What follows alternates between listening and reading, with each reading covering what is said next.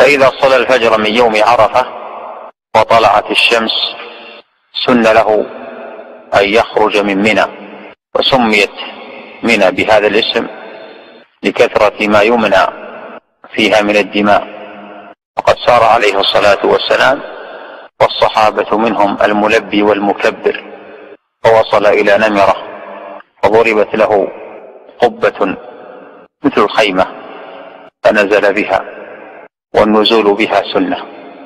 وهذا النزول يدل على أن الذي ينبغي على الحاج أن يعطي الجسم نصيبه من الراحة حتى يتقوى على العبادة.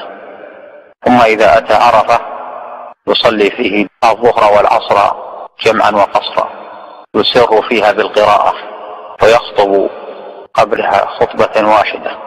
والسنة تأجيل الصلاة وتقصير الخطبة. وكانت وقفته عليه الصلاة والسلام في يوم جمعة. فليس فيه دليل على أنه عليه الصلاة والسلام صلى الجمعة لأنه أسر القراءة وخطر قبل الصلاة. وقد وقف عليه الصلاة والسلام عند الجبل مستقبلا للقبلة راكبا. وهل يسن الوقوف؟ راكبا أم قاعدا؟ الصحيح أنه يختلف باختلاف الأحوال والأشخاص فمتى ما وجدت الفضيلة والمصلحة في أحدهما فهو الأفضل. فجعل عليه الصلاة والسلام يرفع يديه يدعو فوقف عليه الصلاة والسلام عند الجبل وأرسل رسوله يقول لمن بعد؟ قفوا على مشاعركم فإنكم على إرث من إرث أبيكم إبراهيم.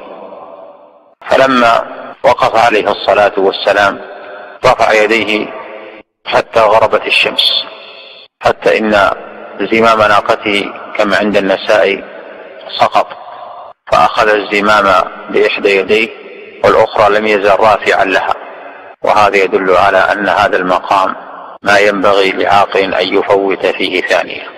فوقف عليه الصلاة والسلام بعرفة حتى غربت الشمس واستحكم غروبها حتى ذهبت الصفرة من أجل أن يخالف الكفار. ففي تلبيته مخالفة لهدي الكفار. ولذا قال في هذه الحجة هدينا مخالف لهدي